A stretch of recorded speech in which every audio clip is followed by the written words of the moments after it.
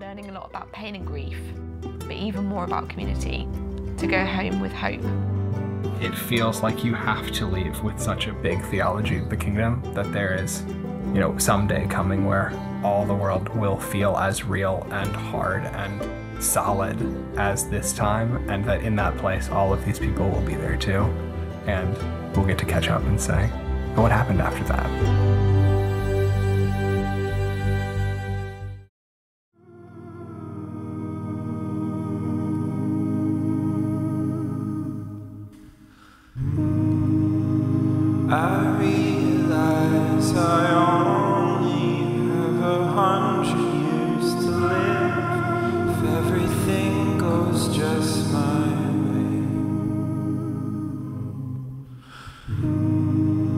I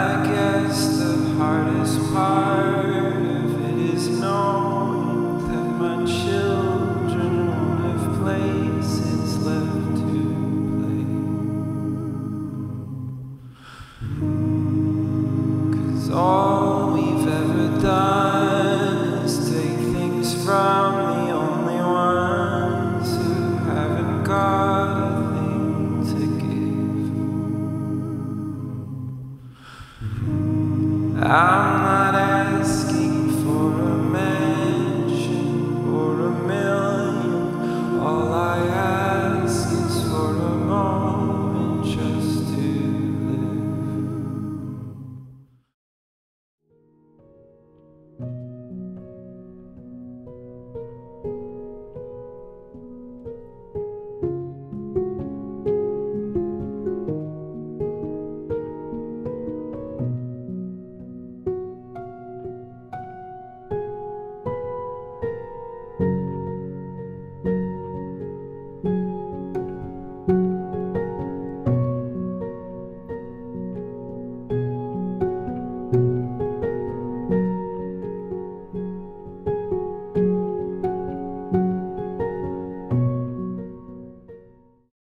First heard about Lemuel Ministries, I immediately fell in love with their approach because I had grown up going on a variety of different missions trips with my local church to places all over the world, but often felt at odds with our approach. We would spend a ton of money to travel to an area, do a bunch of projects for the local people, take a few selfies with their kids to post on social media later, and then leave without ever asking if our presence was at all helpful or even possibly detrimental.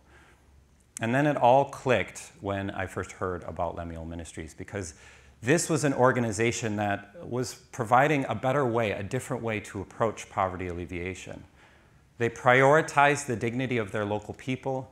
They seek long-term sustainable solutions to their community's problems. And they invest in their community in a way that creates a beautiful place to live in, especially for the next generation.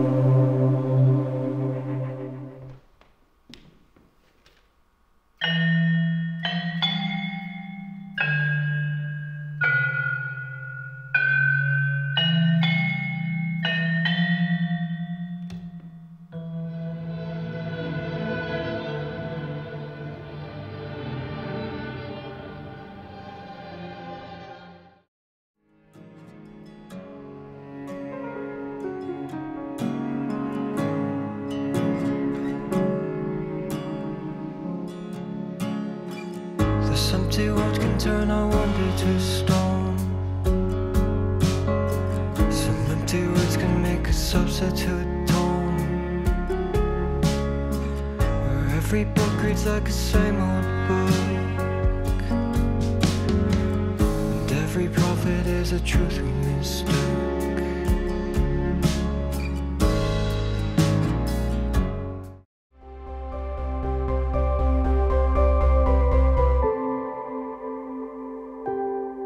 Carl died in 1979, the day after Christmas, and he lived right next to me, so I knew him very, very well.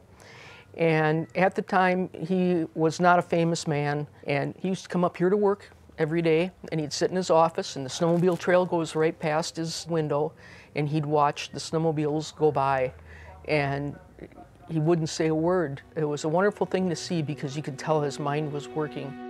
If he saw the amount of snowmobiles today, he would just be blown away.